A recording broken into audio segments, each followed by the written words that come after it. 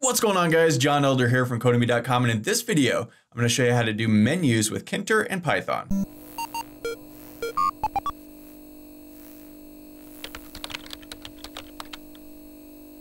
Alright guys, like I said, in this video, we're going to look at menus. But before we get started, if you like this video, want to see more like it, be sure to smash the like button below, subscribe to the channel, give me a thumbs up for the YouTube algorithm, and check out Codemy.com where I have dozens of courses with hundreds of videos that teach you to code. Use coupon code YouTube1 to get $30 off membership. That's all my courses, videos, and books for a one-time fee of just $49, which is insanely cheap. Okay, like I said, in this video, we're going to look at menus. So what I mean by menus is we got it right here, these menus at the top of a program you know, we can do things and uh, that's what we're gonna look at. So menus are actually pretty simple with Tkinter. I'm kind of surprised it's taken me this long to get around to doing them because, uh, you know, most programs have menus at the top of them. You know, right here, we've got Sublime. It's got a whole bunch of menus at the top, right? Any program you use, or it's almost always gonna have menus on it. So how do we create them with Tkinter? Well, it's pretty simple. First, we just define a menu. So we can call it anything we want. Let's just call this my underscore menu. And we set that equal to a menu.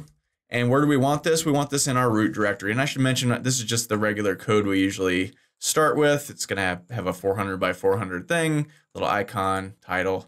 And here's our main loop that we've called root. So we want to put this menu in root. Now from now on, we're going to reference it as my menu as we would any other sort of widget that we use in Tkinter.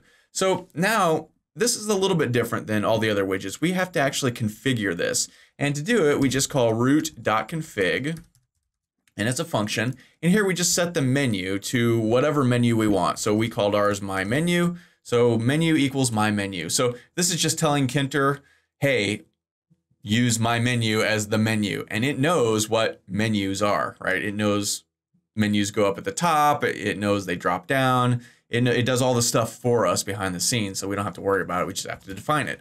So now we need to, let's say, create uh, a menu item, right? So just looking up here, we have file, edit, and selection.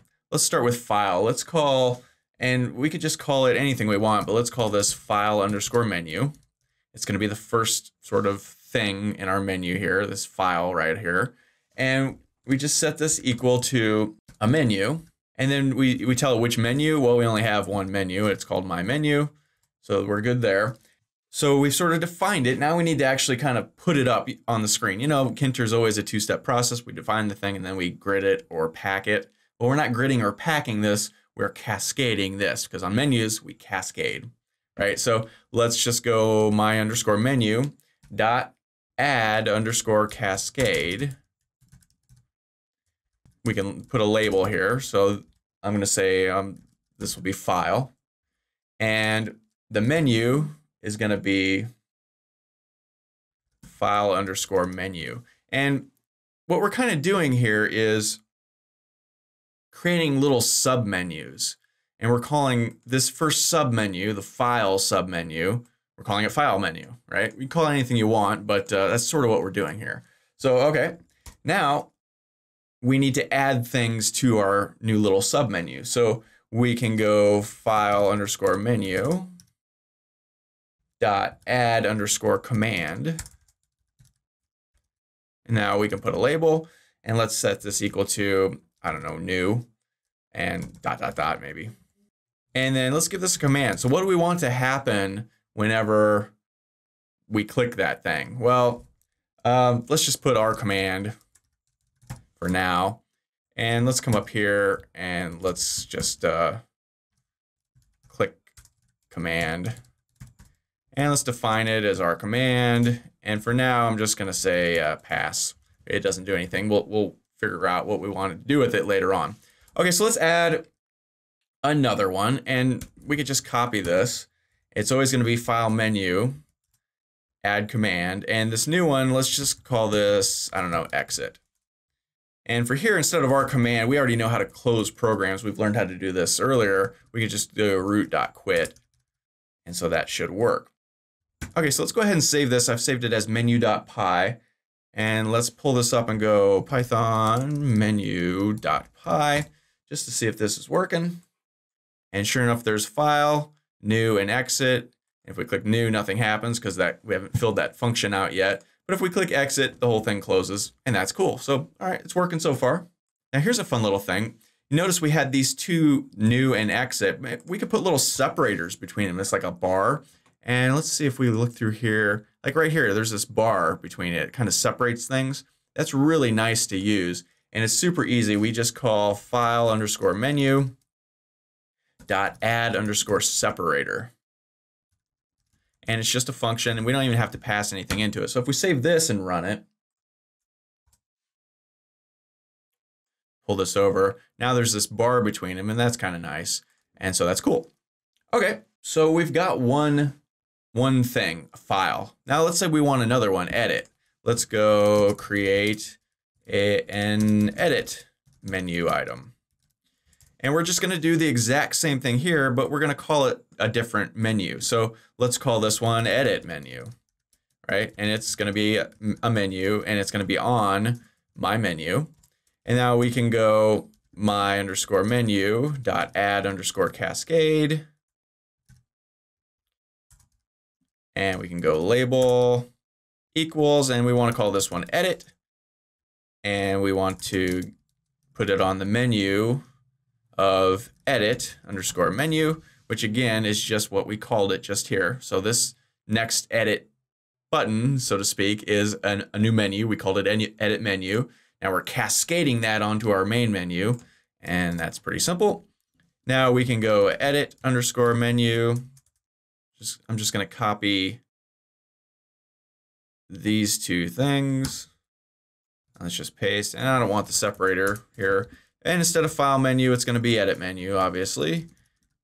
And instead here, let's go cut and copy. And instead of, let's go R command. Now for each of these buttons, or each of these uh, sort of drop down things, you would not put R command for each one. You would put a different function because you want, when somebody clicks on that, you want something different to happen every time. I just put this function here because it's easy and we're not, we already know how to do functions and stuff. so we're not going to get into that in this video. We're just creating the menu. So that's what I'm doing. So, okay, let's go ahead and save this and run it and see if that did what it's supposed to. And so file, edit, yep, cut, copy. Nothing happens when we click on them. Exit. And it's just that easy. So now that you know how to do two, you can do as many as you want. So we can just copy all of this if we wanted to, and let's, uh, I don't know, create uh, an options menu item. And instead of edit menu, we would call this options menu, and it's in my menu. And then let's put options, and it would be in options menu. And then we change this to option and this to option. Instead of cut and copy, we want, I don't know, what's something else? Find and find next. I don't know.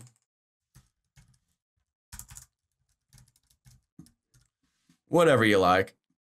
So if we save this, come back, run it. Boom. That's cool. So pretty simple.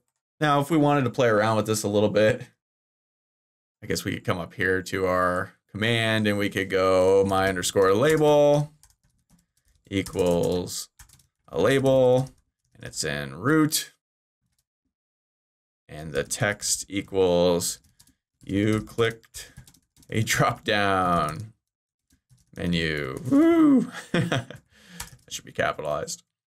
Uh, dot pack I don't know if we save this now and run it. Now when we click something, boom, you click the drop down menu. And every time we do it, it does that, right? So you get the idea. You know how to use functions already. Anything you want these things to do, uh, you can do. So uh, in the next couple of videos, we'll look at this a little bit more and we'll look at using frames so that when you click these things, like the whole new screen changes to a different looking thing uh, or maybe opens another window or, or something fun. And uh, we'll start to look at those in the coming videos. But yeah, pretty simple. So just to, you know, quickly recap, you start out by just sort of configuring your menu, Call it anything you want. We called ours My Menu, and it's a menu widget. We stick it in root. Then we the only weird thing is we have to configure it. So it's root.config, and then we just tell our program what, what menu to use, which is My Menu.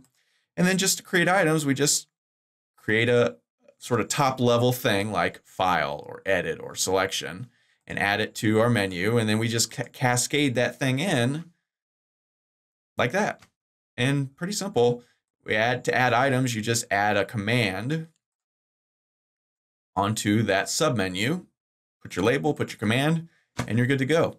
Uh, the only other weird thing is this little separator, which is super easy and uh, pretty cool. So that's all for this video. If you liked it, be sure to smash the like button below, subscribe to the channel, give me a thumbs up for the YouTube algorithm, and check out Codemy.com where you can use coupon code YouTube1 to get $30 off membership. So pay just $49 to access all my courses, over 40 courses, hundreds of videos, and the PDFs of all my best-selling coding books. Join over 85,000 students learning to code just like you.